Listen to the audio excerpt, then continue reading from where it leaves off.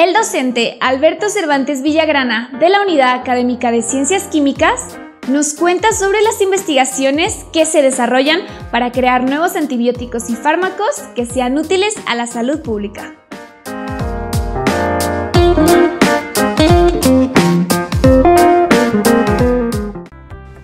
En esta ocasión eh, les voy a comentar acerca de un proyecto de investigación que estamos trabajando actualmente.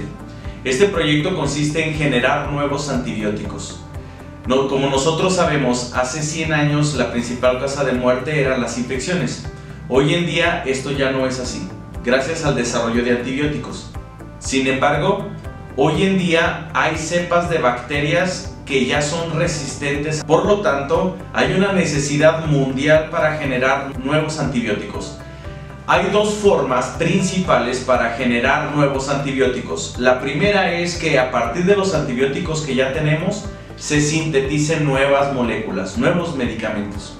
Y la otra es seguir buscando e investigando compuestos que se extraigan de plantas medicinales o de productos naturales del cual se puedan desarrollar nuevos fármacos. En este caso, nosotros hemos trabajado en colaboración con otros investigadores y de ahí se han desarrollado eh, nuevas moléculas que tienen efecto contra bacterias.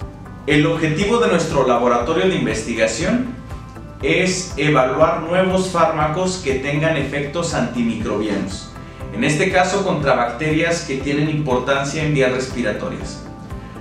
En el grupo de investigación eh, tenemos colaboradores, tanto docentes investigadores como alumnos de posgrado. Yo soy el cuerpo de Luis Ángel Baino Hurtado. Estoy estudiando la maestría en Ciencia y Tecnología Química, en donde, como bien nos comentaba el doctor Alberto Cervantes, con quien actualmente me encuentro trabajando, hemos estado probando distintas moléculas buscando su utilidad como antibióticos. Específicamente en mi caso, he estado probando un derivatizado de fluoroquinolonas, Después de haber sido sintetizado en el laboratorio de síntesis orgánica, nos dedicamos entonces a probarlo en distintos modelos. Uno de estos fue sobre bacterias, Staphylococcus aureus y Klebsiella pneumoniae, las cuales han generado gran resistencia últimamente en las distintas décadas más recientes. Es por ello la importancia que se tiene por obtener algunas de estas moléculas activas sobre las mismas.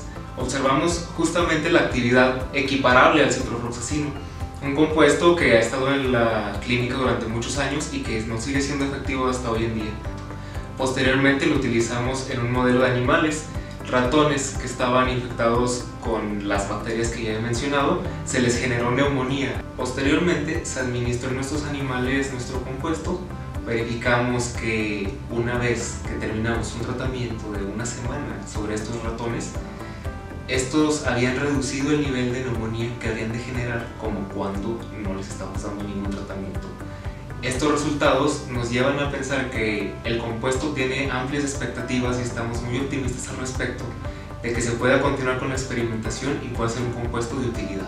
Este es uno de los proyectos que hemos estado trabajando en el Laboratorio de Investigación de Inmunotoxicología Terapéutica Experimental de la Unidad Académica de Ciencias Químicas de nuestra Universidad Autónoma de Zacatecas.